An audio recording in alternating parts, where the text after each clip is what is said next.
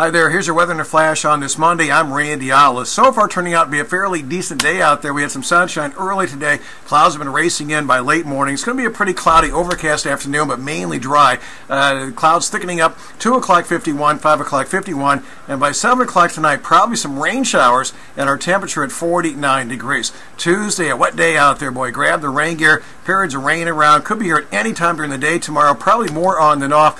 Might even be a couple thunderstorms here too. However, at least right now, we're not expecting any severe weather during the day on Tuesday. We're going to have to watch out here. Uh, we could see as much as an inch and a half to two inches plus rain by Wednesday morning. So if we get that much rain with the melting snow, that could produce a minor flooding uh, across the area by the latter half of this week. So again, we'll kind of watch out for that. Uh, here's uh, temperatures for tomorrow. Still pretty mild out there. Upper 50s, around 60 during the day on Tuesday. Uh, your Chapman heating and cooling eight-day forecast. Uh, it's going to look like we're going to see another batch of rain coming in late Thursday into Good Friday, maybe a break on Saturday, and another chance of rain on Easter Sunday that could end here as a wintry mix early on Monday. So a lot going on. If you haven't done so, get the Wish TV weather app. It is free. You can check out radar anytime, get the latest forecast and real-time traffic too. Again this afternoon, thickening cloud cover, or high should top out into the lower 50s.